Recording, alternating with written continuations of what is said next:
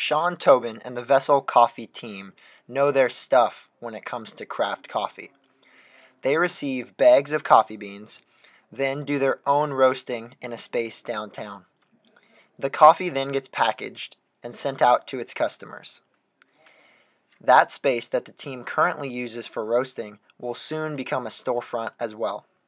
Sean believes it will give people a place to bond over quality coffee and allow meaningful conversations to happen, all in the name of the three primary concerns of Vessel coffee, people, and stories.